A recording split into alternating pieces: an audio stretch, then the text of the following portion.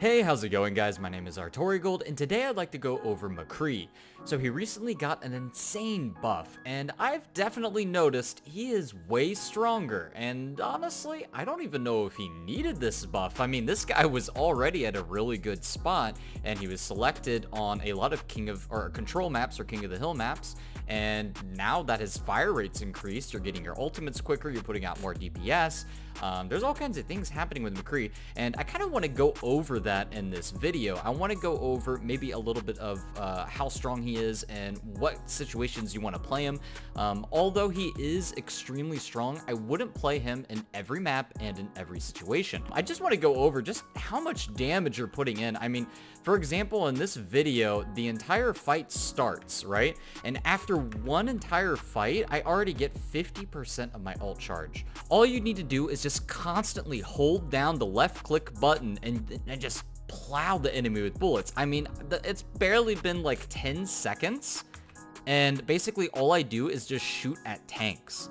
Now this is something that you don't usually want to do, especially on DPS heroes, because sometimes it's better to go for the backline, the support, and the DPS, because you can usually just headshot them and flashbang and right click or flashbang headshot them, and you'll just get an immediate free pick as McCree. And that kind of was the playstyle for a long time. Um, but with this buff, I think it's actually really valuable for you to just hold down left click on tanks. I mean, you're 20, I think it's like 20% more DPS overall. It's so hard to miss on a tank as McCree, and if you're up close and personal and you're behind your own Reinhardt or, you know, whatever tank you have, Orisa, and you're just sitting there and you're just left clicking, you're going to be able to even break shield. Um, it's actually very similar to Soldier 76. It's kind of strange because it feels like you almost fire at the same speed as Soldier 76 and you are way better than him now. I mean, Soldier 76 might have a place in the meta as more of a defensive, I'm going to run away and heal myself and then fight another day kind of playstyle, but overall McCree has definitely taken over when it comes to DPS. Widowmaker is still going to outrange you, but you can kind of put McCree more on a frontline role, rather than trying to be a flanking McCree, which is what a lot of people used to do, right? The general strategy was for you to go around, crouch, walk behind the enemy, maybe wait for like a tracer or some sort of other enemy flanker to go around a corner or maybe even try to spawn camp a healer and then you would just flashbang and right click and bam, you got a free easy pick on McCree. But now, that playstyle, I don't think you even want to do that anymore. I think the entire way you play McCree is you just frontline with him. I mean, you could effectively get picks still, but the DPS output is just so unbelievable. I even think that McCree can do pretty decently against goats. Not gonna lie, uh, I don't know if anybody noticed this, but Brigitte got a gigantic nerf. Um, it was actually a bug. Um, if you guys don't know about this bug, apparently whenever she had armor from her rally, that would stack on top of her normal armor and what would happen was is that armor would have additional damage reduction to normal. I think it was supposed to be like 20 or 25% damage reduction which is normal but instead the stacking gave it like 40 to 45%. So if you ever wondered why it was just so hard to kill a Brig during rally or it just, you know, it seemed like she just couldn't die, it was because of a bug. I think it's kind of unbelievable that that bug existed for so long without it, you know, being found out fixed, but there you have it, it has been fixed, and for that reason, Goats got a pretty significant nerf, because Brig was, of course, key to that strategy, and her rally just made uh, the team just so hard to kill, and of course they had the Lucio and Zen defensive ults on top of the rally, which is basically kind of like a semi-defensive ult. So now that that's been nerfed, McCree's damage output against tanks, as well as the pressure, has been insanely increased. Um, and High Noon has actually become pretty valuable against tanks because of the recent change they had it.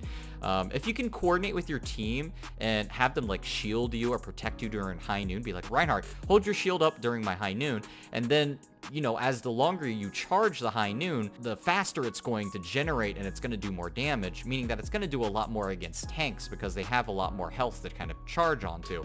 Um, so in that regard, I think that McCree is in an insanely strong spot right now. If you are looking to climb on the solo queue ladder, I highly suggest that you play McCree. He is insanely strong and he works on just about every single map.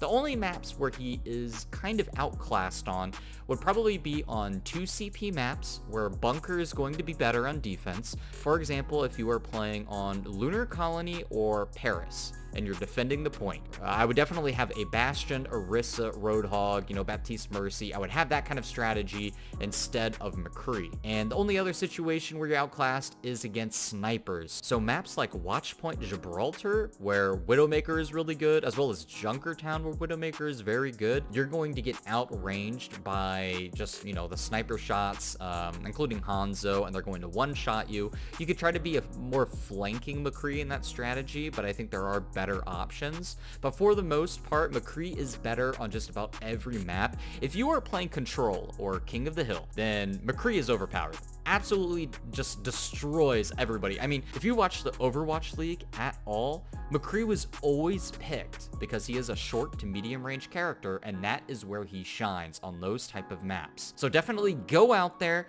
Pick McCree if you're a DPS player, and if you're not playing McCree, then you are missing out on some free, easy SR. I promise, pick this hero right now. He is incredibly strong. You don't have to really worry about anything but mechanics. That's all you need to focus on. Positioning is fairly simple. You just stick with your team. As long as the enemy team is, you know, in front of you, just shoot them. That's all you need to do. You don't really even need to be like, I'm going to focus backline. I mean, I'm going to focus on this hero. You can literally just hold down left click and shoot people. Your DPS output is insane. I think that you're going to provide more pressure to the enemy front line than a Junkrat would, right? Like Junkrat specializes in just shooting the front line, shooting mines, shooting shield break kind of things. And I think you put out more pressure than he does right now, which is kind of insane. Um, and then, of course, if the enemy team is running dive, then you're you're even better. Like, you just wait for the enemy team to dive on you, you flashbang them, bam. They're done. That's all you gotta do, right? Anyways, guys, that's all I wanted to go out there and say. I wanted to just talk and get the info out. McCree is insanely strong, and the Brig nerfs have only helped him. So get out there and play him. Thanks so much for watching, and I'll see you guys next time.